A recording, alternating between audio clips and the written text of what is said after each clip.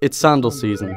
Toes poking out, give us a reason. For Birkenstock breathers, no open toes for construction, keeping me safe from tickly toe teasers. Bunions and bunions, bunions and buniony bunions.